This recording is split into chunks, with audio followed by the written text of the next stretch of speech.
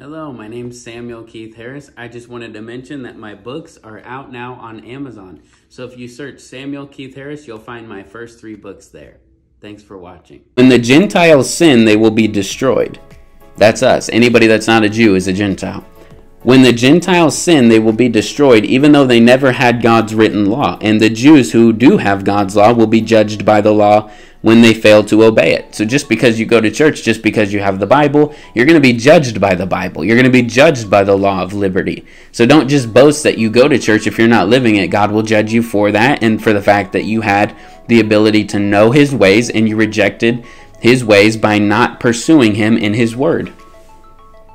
It says, for merely listening to the law doesn't make us right with God. So just because you're listening to me, that doesn't make you right with God. It says it is obeying the law that makes us right in His sight. And the scripture says to do the word, not to just listen to the word, deceiving ourselves. Right? That'd be foolish to listen to it and then to not do the scriptures. It says it is obeying the law that makes us right in His sight.